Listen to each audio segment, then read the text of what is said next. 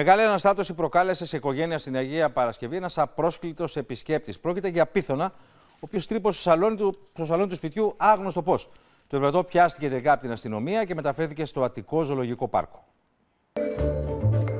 Έναν απρόσκλητο και ανεπιθύμητο επισκέπτη είχε μια οικογένεια στην Αγία Παρασκευή που δεν περίμενε ότι θα αναγκαζόταν να κυνηγά στο σαλόνι του σπιτιού της έναν πίθωνα. Στο σπίτι τους, την ώρα που καθόντουσαν και βλέπαν τηλεόραση στο σαλόνι, σε ισόγειο, είχαν ανοιχτό το παράθυρο, τον είδαν να μπαίνει μέσα στο σαλόνι. Το εξωτικό ερπετό αναστάτωσε την οικογένεια που αναγκάστηκε να ζητήσει τη συνδρομή της αστυνομίας. Όπως αποδείχτηκε εξάλλου, πριν τρυπώσει στο σπίτι, το κατά τα άλλα εντυπωσιακό ερπετό έκανε βόλτα στους κεντρικούς δρόμους του Δήμου. Ειδοποίησαν ε, οι κάτοικοι του σπιτιού την αστυνομία, πήγαν εκεί και κατάφεραν να βάλουν το φίδι σε ένα κουτί. Ρωτώντας τη γειτονιά ότι είχε ενημερωθεί δύο μέρες πριν, περνούσε έξω από το δημοτικό σχολείο. Πίθωνας. Τον είδαν κάποιοι έξω από το σχολείο.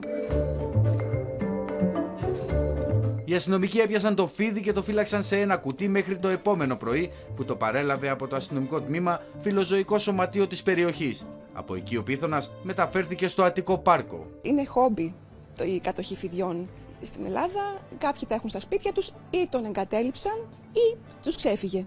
Αυτός είναι ο πίθωνας που τρομοκράτησε την οικογένεια στην Αγία Παρασκευή.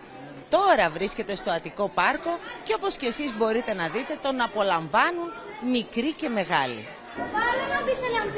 Αυτός ο πίθωνας μας ήρθε, το έχει κατασχέσει η αστυνομία κάπου στην Νέα Παρασκευή. Είναι ένα πολύ κοινό πετ από την ε, Δυτική Αφρική. Παρά το τρομακτικό ενίοτε παρουσιαστικό του, ο πίθωνας είναι ακίνδυνος σύμφωνα με τους γνώστες και αποτελεί ένα από τα πιο συνηθισμένα κατοικίδια φίδια στη χώρα. Ειδικά το ball python είναι ένα είδος που αναπαράγεται πολύ εύκολα σε ελεγχόμενο περιβάλλον και σας λέει οι χομπίστες συνηθίζουν να έχουν ball pythons.